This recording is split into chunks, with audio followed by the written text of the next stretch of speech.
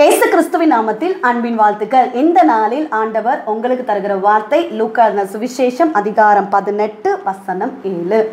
அந்த வழியே தேவன் தம்மை நோக்கி இரவும் பகலும் கூப்பிடுகிறவர்களாகிய தம்மால் தெரிந்து கொள்ளப்பட்டவர்களின் விஷயத்தில் நீடிய பொறுமையுள்ளவரா இருந்து அவர்களுக்கு நியாயம் செய்யாமல் இருப்பாரோ? பிரியமானவர்களே இந்த காலை வேளையில் உங்களோடு கூட ஆண்டவர் இந்த வசனத்தின் மூலமாக பேச போகிறார்.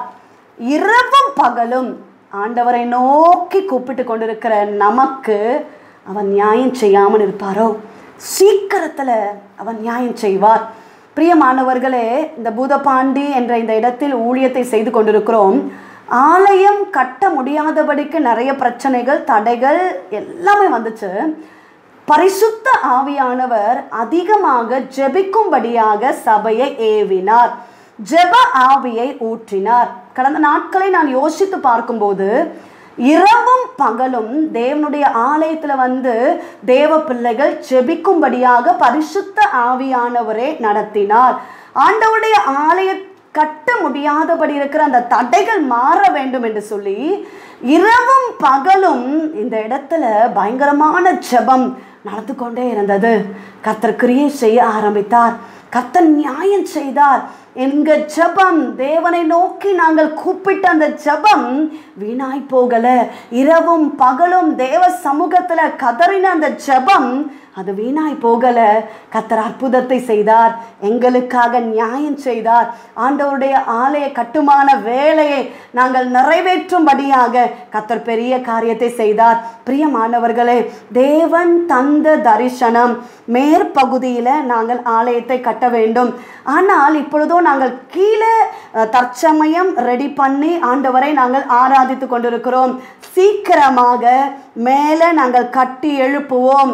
கர்த்தர் தம்முடைய ஆலயத்தை கட்டி எழுப்புவார். தொடர்ந்து தேவ சமூகத்தில் ஜெபிக்கிற செபம் அது வீணாய் போகாது என்று நான் விசுவாசிக்கிறேன். பிரியமானவர்களே உங்க வாழ்க்கையிலும் கர்த்தர் நியாயம் செய்வார். சீக்கிரத்துல நியாயம் செய்வார். இரவும் பகலும் நான் ஜெபிக்கிறேனே. காலையிலே ஆண்டவரை தேடுகிறேன். இரவெல்லாம் அவரை நான் தேடுகிறேன். என்னுடைய வாழ்க்கையில் ஒரு நியாயம் இல்லையே. என்னுடைய வாழ்க்கையில் ஒரு அற்புதம் நடக்கவில்லையே என்று சொல்லி கவலைப்படாதிருங்க.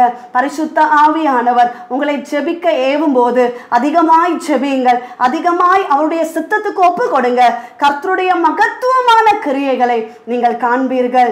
கர்த்தர் தம்முடைய கிரியைகளை உங்க வாழ்க்கையில வெளிப்படுத்துவார். சோர்ந்து போகாமல் நீங்கள் ஜெபிக்கிற ஜெபத்துக்கு நியாயம் செய்கிற ஒரு தேவன் இருக்கிறார். சீக்கிரத்தில் நிச்சயமாய் நியாயம் செய்வார். ஜெபிப்போம். எங்களை நேசிக்கிற எங்கள் நல்ல தகப்பனே இந்த கால வேலைக்காக நன்றி செலுத்துகிறோம். என்னோடு கூட சேர்ந்து ஜெபித்து கொண்டிருக்கிற ஜெபத்தை கேட்டுக்கொண்டு இருக்கிற ஒவ்வொரு தேவ பிள்ளைகளையும் ஆண்டவர் அளவில்லாமல் ஆசிர்வதிப்பீராக. கத்த தந்த நல்ல வார்த்தைக்காக நன்றி அப்பா. இரவும் பகலும் ஆண்டவரே உம்மை நோக்கி கூப்பிடுகிற பிள்ளைகளுக்கு நீ நியாயம் செய்கிற தகப்பன். சீக்கிரத்தில் நியாயம் செய்வேன் என்று சொல்லியிருக்கிறீரே.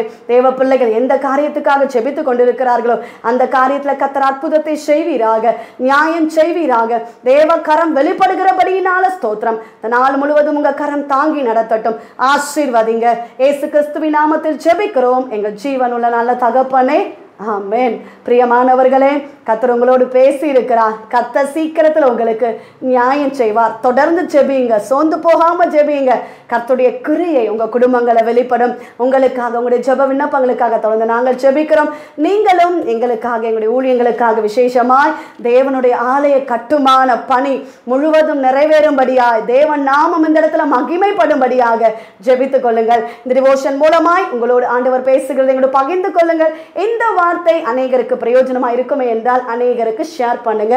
God bless you